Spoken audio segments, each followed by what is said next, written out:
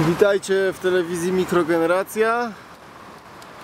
Mamy tutaj bardzo ciekawą turbinę, która jak już niektórzy wiedzą nie działa od 8 lat bodajże. No i coś tam przy niej ostatnio zacząłem grzebać. A właściwie to już od kilku miesięcy. No i podejrzewam, że ktoś tutaj przyszedł, zwolnił hamulec i, i uciekł. Bo ten hamulec miał takie układziny dosyć zajechane. No, a dzisiaj dmucha. No ale przy okazji okazało się, że turbina ma jeszcze dodatkowe zabezpieczenie. Mianowicie końcówka łopatki wyskakuje na sprężynce. Ona jest normalnie. Ale jak już wyskoczy, to się tak ustawia właśnie, że nie da się wirnikowi rozkręcić na tyle, żeby ją rozerwał. Żeby siła odśrodkowa rozerwała wirnik. Więc mamy dzisiaj w porywach do 50 węzłów i turbina jeszcze stoi.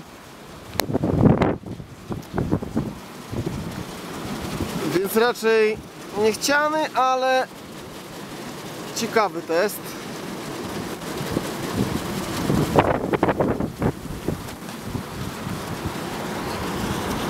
Przypomnę, około 8 sztuk jest na świecie tego typu turbin. Skandynawska jakaś tam. Coś tam, coś tam. 17 kW generator. Asynchroniczny na stałe z siecią podłączony. No teraz by ładnie produkowała, ale jeszcze nawet nie sprawdziłem, czy nie jest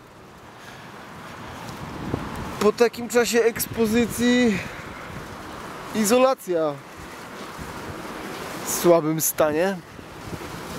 Jesteśmy na gondoli tej turbinki właśnie, która się niedawno tak pięknie kręciła.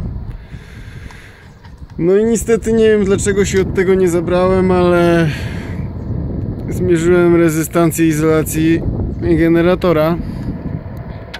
Bestia 17 kW ma, se tu tak wisiała na otwartym deszczu, no i co tu się dziwić? Każda faza do ziemi tej rezystancji nie ma.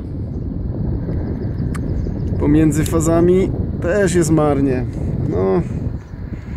Także po temacie mamy tutaj Meger 0,08 mega ohma.